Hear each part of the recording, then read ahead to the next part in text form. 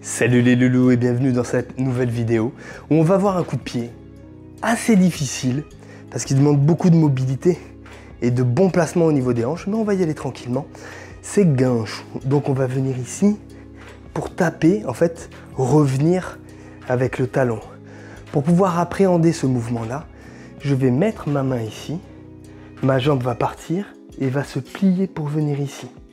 Et je reviens. Ma cible, ma jambe passe et mon talon revient. Vous allez voir qu'au début, votre cible, elle va être plutôt basse. Et on commence à choper le truc comme ça.